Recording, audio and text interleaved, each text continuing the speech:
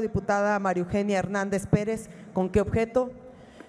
con el objeto de hablar sobre eh, Botero, Fernando Botero, el pintor colombiano que ha fallecido.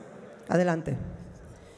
En estos tiempos en que la cultura y el espíritu latinoamericano se enfrentan grandes retos, es imprescindible rendir homenaje a un gigante como Fernando Botero, quien nos recuerda en sus obras pictóricas las expresiones artísticas monumentales de las grandes eh, mujeres latinoamericanas y que dio un, fue un parteaguas en esa expresión artística.